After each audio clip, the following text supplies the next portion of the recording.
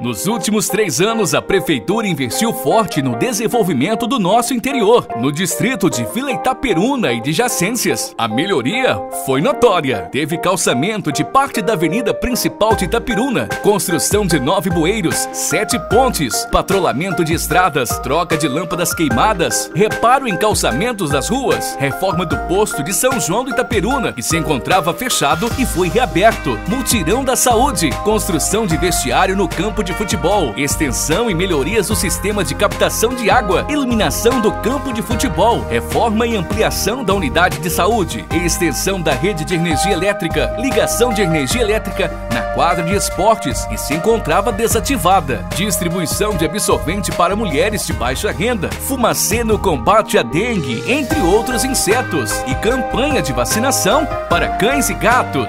e em 2024 a gente segue avançando. Prefeitura de Barra de São Francisco.